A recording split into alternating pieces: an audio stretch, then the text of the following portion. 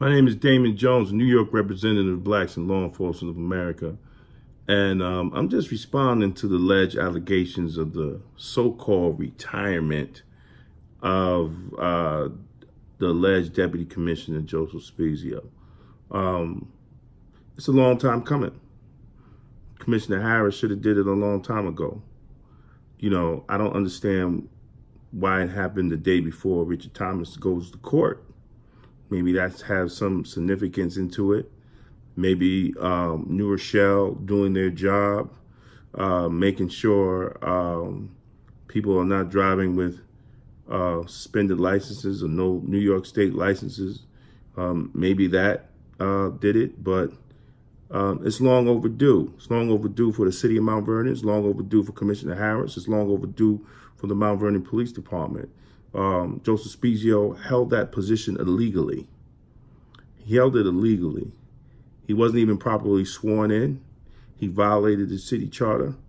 And as former uh, Commissioner Robert Kelly testified, he wasn't a, a, a New York State resident, which is a violation of of New York state law. You have to be a resident of, of, of the state of New York to hold um, a police officer's position um, or be a police peace officer of the state. So, you know, you know, all this is going down. You know, Mr. Spiezio injected himself into a homicide investigation and and and involved a former felon, Roberta James, into Nas Duncan's son homicide investigation.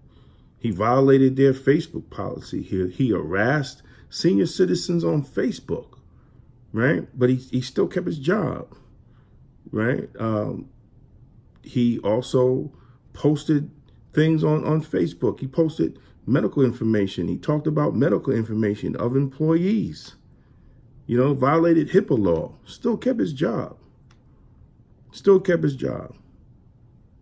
Even when his company one of his trash companies did a hit and run. He protected though he protected his company from that in Mount Vernon. He illegally was part of um, illegally shutting down OK Freddy's. He was part of that. Still kept his job. Still kept his job.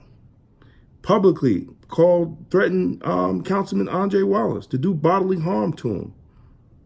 Still kept his job made homophobic statements publicly against Andre Wallace.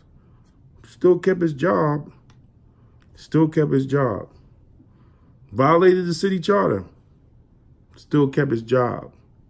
So now all of a sudden, he's caught without a license. And then it's verified that he is not a New York State resident. We want to act in the fourth quarter. Not to mention how he harassed my wife and um, Commissioner Harris knows that for a fact. What Commissioner Harris should have did, he should have called Commissioner Spiezio, former Commissioner Spiezio, to his office and put cuffs on him.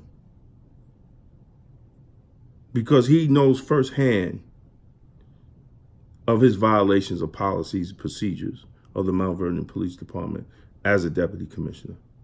Commissioner Harris knows firsthand. So we're not popping bottles. We're not giving kudos because his ass should have been fired a long time ago.